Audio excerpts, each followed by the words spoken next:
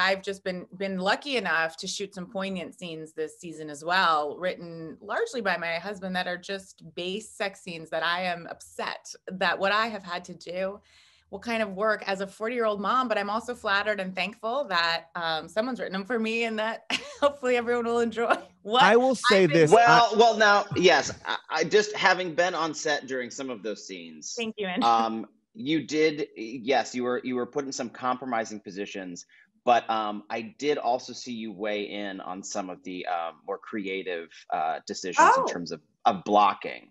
Casey was her own.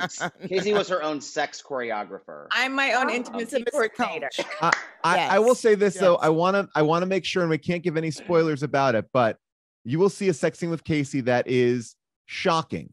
But then it will be very quickly followed by a sex scene with Andrew that I believe might be location and everything. It will be one of I think it will probably be one of the best sex scenes in history. Yes. Really. All Oh. comedic, but definitely you're gonna sit, back- Memorable. sit up in your seat. Memorable.